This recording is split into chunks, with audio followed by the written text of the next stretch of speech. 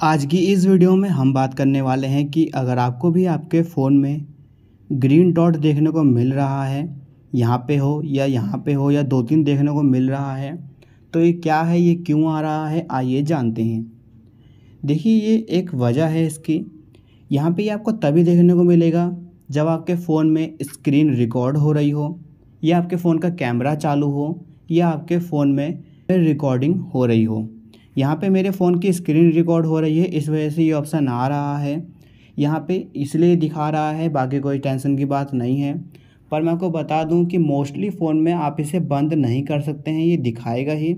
एक नया फीचर है ये एंड्रॉयड का, ये आपको अलर्ट करता है कि अगर आप कोई चीज़ इस्तेमाल नहीं कर रहे हैं, फिर भी ये चीज़ आ रही है, इसका मतलब आपका फ़ोन हो सकता है कि आपका फ़ोन कोई और कंट्रोल कर रहा है। बाकी कोई टेंशन की बात नहीं है, शायद आप समझ गए होंगे। वीडियो पसंद आए, लाइक करें, चैनल को सब्सक्राइब करें।